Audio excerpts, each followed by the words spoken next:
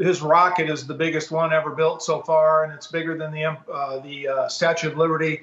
And to, to lift all of that mass into wow. space is, is absolutely incredible. So well, he's taken steps way faster than we ever did in the Apollo program to do things like this. So it's very exciting time for anyone that follows space.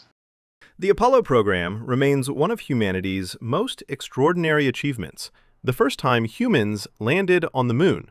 It was such a monumental feat that, more than 50 years later, no one has done it again. But former NASA astronaut Clayton Anderson offers an interesting perspective on why that might be. He notes that NASA, while highly capable, can sometimes be slow moving and weighed down by bureaucracy.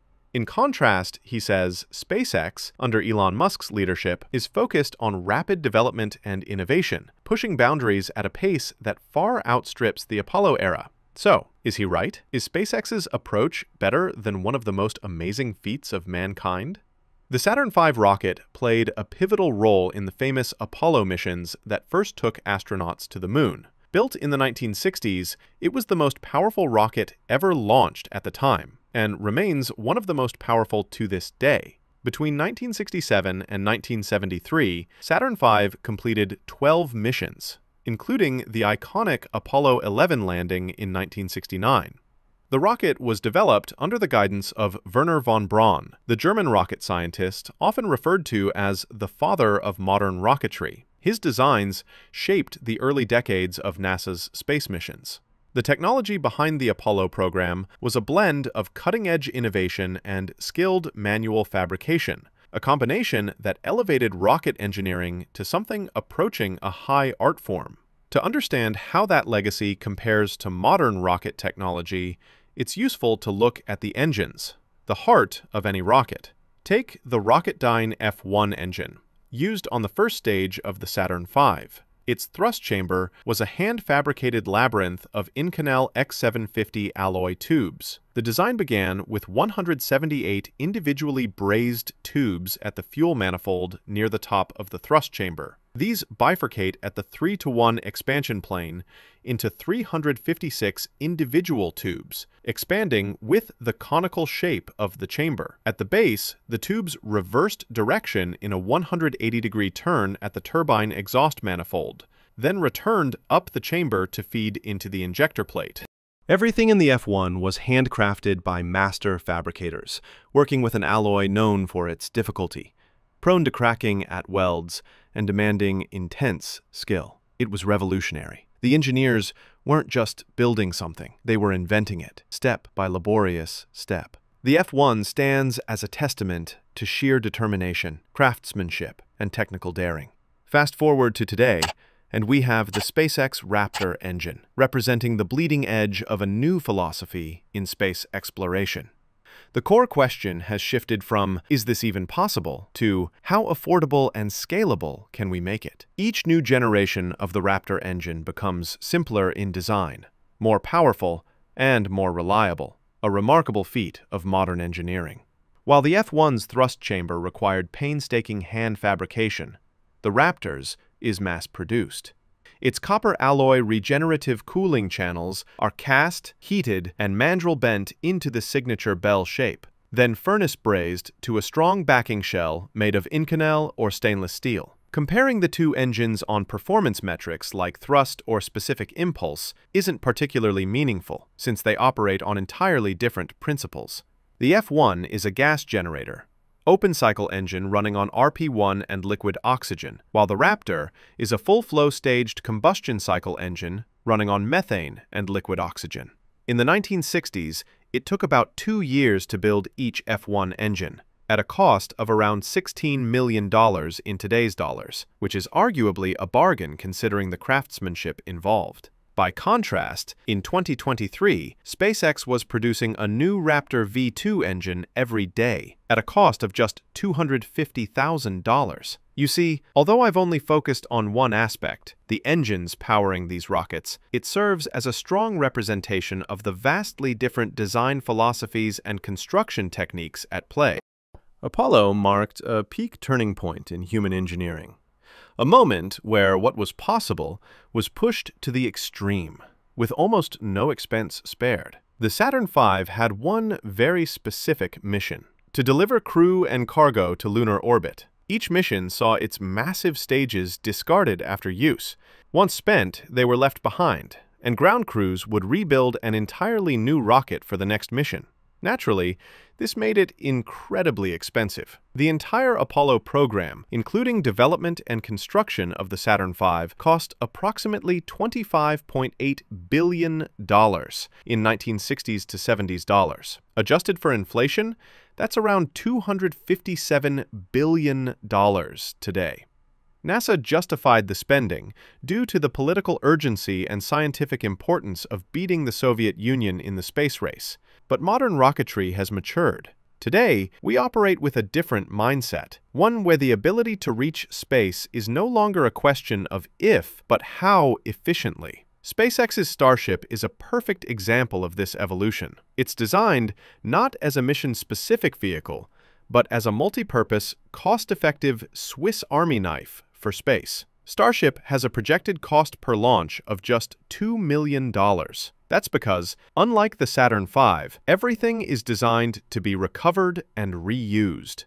The booster can theoretically be refueled and relaunched in just one hour, and its Raptor 3 engines are built to fly up to 100 times with only routine inspection between flights. While the fundamental physics behind rocket technology hasn't changed, the way it's applied has become almost unrecognizable from the efforts of 60 years ago.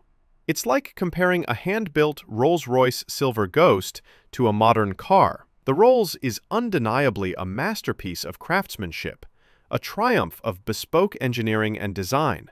But the modern car, mass-produced and cost-optimized, is objectively superior in every practical way. It's faster, more reliable, safer, and far cheaper, despite both being built to perform the same fundamental task. That's the technical standpoint, but former NASA astronaut Clayton Anderson also made something else very clear, how fast SpaceX is moving. Here, the difference between how a government agency like NASA operates and how a private enterprise like SpaceX moves becomes starkly apparent. It's not a knock against NASA or the traditional defense contractors they work with, but their approach has long been about achieving perfection without the same pressure to be efficient. They're not beholden to shareholders, they're accountable to taxpayers. Yet because funding comes through Congress, often with little regard to how efficiently that money is spent, the pace of development is slow, steady, conservative, and focused on low-risk, high-reliability outcomes. SpaceX, on the other hand, had to fight its way into the game on a shoestring budget. They had to design a working rocket, prove it could fly, and then ask, sometimes beg, for a chance to show what they could do. Once they got that chance, they delivered. And then they did what most government-backed programs can't afford to do. They iterated, fast. That pressure, being just one moment away from failure, pushed SpaceX engineers to perform at their absolute best. After securing some early NASA resupply contracts, they proved they could compete with the big players. Then they went further. They began doing the crazy things, like trying to land orbital-class boosters, and when they succeeded, the world took notice. Suddenly, people were looking at legacy rocket companies and asking, why can't you land your boosters? It's a case study in what happens when free market forces, entrepreneurial grit, and a healthy dose of American ambition collide. One of the best ways to spark innovation in the US is to tell someone something is impossible. That challenge alone is often enough to drive people to reach across the barrier, grab the impossible by the throat, and drag it into reality. It took SpaceX 15 years, a brush with bankruptcy, and an all-or-nothing mindset to reach this point. That said, we shouldn't discount NASA. They once operated with the same kind of urgency and ambition. In the 1960s, the Apollo program brought together some of the brightest minds in science and engineering, and in under eight years, they turned the Saturn V from concept to reality, the most powerful rocket ever built, and flew astronauts to the moon. That, too, was something the world thought impossible. In both cases, it comes down to the right mix of motivation, opportunity, and drive. NASA once had it, and lost it as public interest waned. SpaceX found it in the face of overwhelming doubt. And now, perhaps, that same spirit is making a comeback. NASA's Artemis program, which aims to return astronauts to the moon for the first time in over 50 years, relies heavily on SpaceX's Starship. Specifically, a modified version of Starship called the Human Landing System will ferry astronauts from lunar orbit down to the moon's surface and back. Under the current plan, NASA's powerful Space Launch System, developed by Boeing and other contractors, will launch the Orion crew capsule, built by Lockheed Martin. Once in lunar orbit, Orion will dock with the waiting Starship HLS. The astronauts will then transfer to Starship, descend to the moon, complete their mission, and return to Orion for the trip home. Before that can happen, however, SpaceX must first demonstrate a complex orbital refueling process in Earth orbit. Starship's tanks will need to be topped off by multiple tanker flights after launch, so it has enough propellant for the full lunar round trip. This refueling capability is a critical milestone for the Artemis program, but Artemis only scratches the surface of what Starship was designed to do. Elon Musk and SpaceX have far more ambitious plans for Starship. Long before NASA selected Starship for Artemis, SpaceX envisioned it as a fully reusable spacecraft, capable of transporting humans from Earth directly to the Moon, and eventually to Mars, without relying on Orion or the SLS. Back in 2017, at the International Astronautical Congress, Musk revealed a vision of Starship, then referred to as the BFR, transporting astronauts from Earth's surface directly to the lunar surface and back. In that original concept, Starship would launch into an elliptical Earth orbit, refuel in space, then travel to the Moon. After completing its mission, it would return directly to Earth, protected by its integrated heat shield and guided by aerodynamic fins during reentry. This original plan eliminated the need for separate launch vehicles docking in lunar orbit or coordination between multiple spacecraft. It was a simpler, more self-contained approach, and more ambitious. SpaceX claimed that Starship could carry up to 100 passengers or 100 tons of cargo to the lunar surface. That far exceeds the capabilities required by Artemis. If Starship achieves what it promises, it could enable not just short-term lunar visits, but a sustained human presence on the moon, something the Apollo program never aimed for.